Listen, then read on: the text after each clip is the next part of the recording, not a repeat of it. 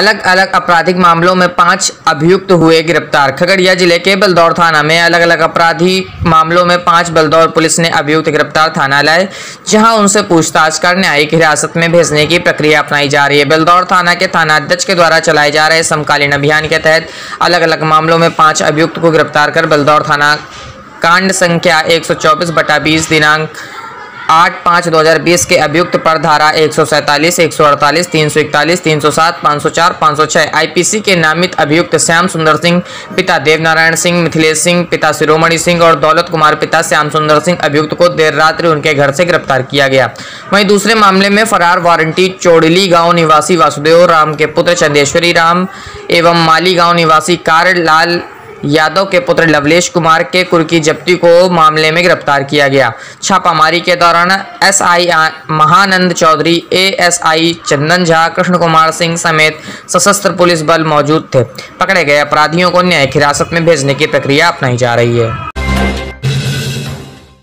पश्चिमी हड़सर मध्य विद्यालय पर समय से छात्र छात्राओं को समय में राशन नहीं मिलने पर ग्रामीणों में विद्यालय परिसर में किया धरना प्रदर्शन। खबर धरौंदा प्रखंड क्षेत्र के हड़सड़ पंचायत के पश्चिमी हड़सड़ मध्य विद्यालय की है, जहाँ आठ वर्ग के बच्चों को समय से राशन नहीं मिलने पर ग्रामीणों ने प्रधानाचार्य राकेश कुमार के खिलाफ जमकर धरना प्रदर्शन किया। बता दें कि नाराज़ ग्रामीणों ने प्रधानाचार्य राकेश के ऊपर चावल वितरण में घोटाला का आरोप लगाते हुए बताया कि प्रधानाचार्य अपनी मनमानी करते हैं।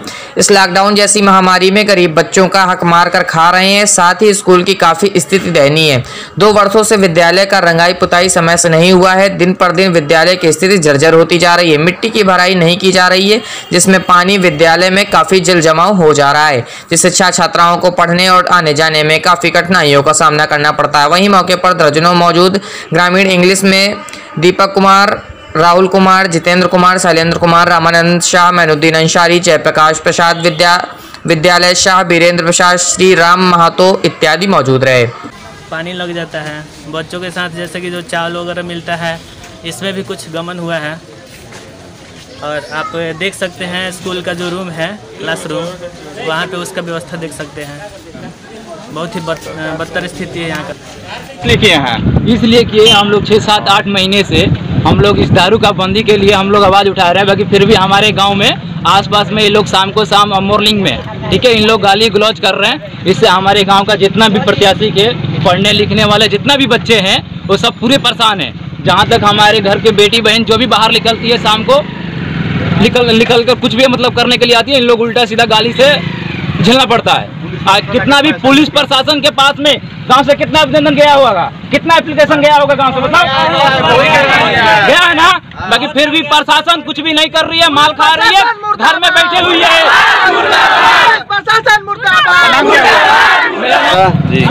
हम मड़ासरा के हई मड़ासरा हमार पंचायत हो जात के यादव हई ये जी बहुत कुकर्म हो रहा बा। ठीक।